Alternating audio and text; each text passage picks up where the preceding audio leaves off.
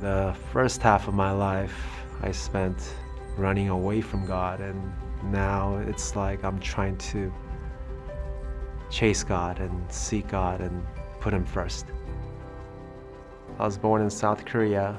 My family and I, we immigrated to the US over 40 plus years ago.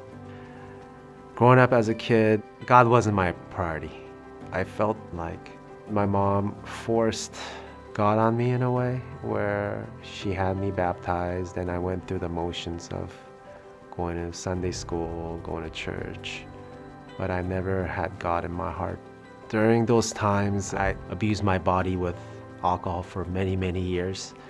And I felt a great emptiness uh, where I had no purpose. I met my wife online.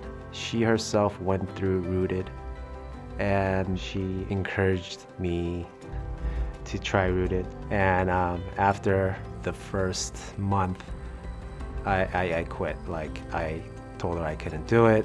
And at the same time, I was questioning our, our relationship.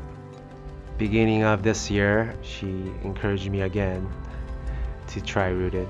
I did not fight back as strongly before. I, I said, you know what, I'm gonna try it um, for you, for for our family, for us. And um, through Rooted this time, um, I met great people, a great facilitator that encouraged me to, well, first of all, finish Rooted, but at the same time, it, it woke me up. And ever since the completion of uh, Rooted, I was uh, baptized again on my own will, dedicating a lot of uh, my time to serve God. And I'm thankful that God has given me a second chance in life to seek Him, to serve Him.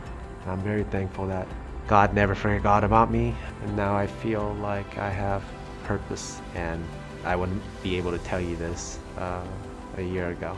It's been great for me to feel His presence, feel His blessings, His goodness, His love. So I'm still a transformation in progress, but I believe I'm in the right direction and walking with God.